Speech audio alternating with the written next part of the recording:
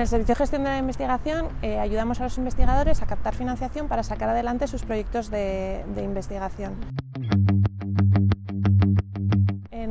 la Oficina de Proyectos Nacionales lo que hacemos siempre es la búsqueda de convocatorias en, los organismos públicos y en las fundaciones privadas donde creemos que pueden eh, salir eh, nuevas eh, oportunidades para nuestros investigadores. Identificamos estas convocatorias y las difundimos a todos los investigadores.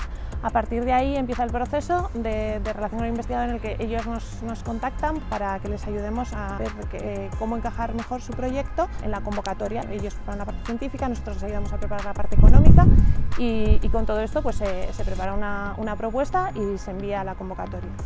Si tienen la suerte de ser financiados, empieza la parte de, gestión de, los proyectos. A mí me gusta mucho, mi trabajo me encanta, pero en cualquier caso lo que más me, atrae de este trabajo es ver cómo eh, somos capaces de ayudar a los investigadores a que se centren en lo que es propiamente su actividad, que es, la, científica. ¿no? Les eh, intentamos eh, quitar todo el trabajo que tiene que ver con la parte administrativa, burocrática, económica, que no es su especialidad y en la que de otra forma tendrían que dedicar mucho, mucho tiempo.